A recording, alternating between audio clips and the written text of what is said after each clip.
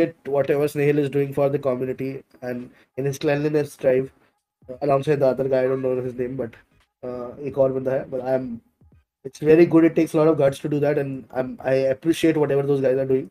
Uh, तो मैंने अभी एक इनका पूरा देखा. I think उन्होंने भी कुछ POV दिए. तो I think uh, officials must look into this, and if it's and if it's so, if it's so by any chance, then I should. I think uh, proper actions must be taken.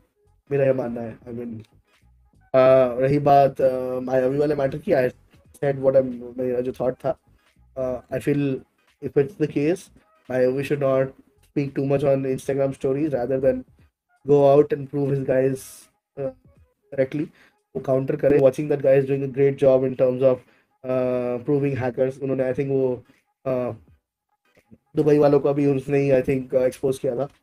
So he's doing a great job in that field and he's trying to clean the community. अबे ऐसा spray सीखना है बे बग्गी से उतर के scope खोल के बंद कर दो और साफ़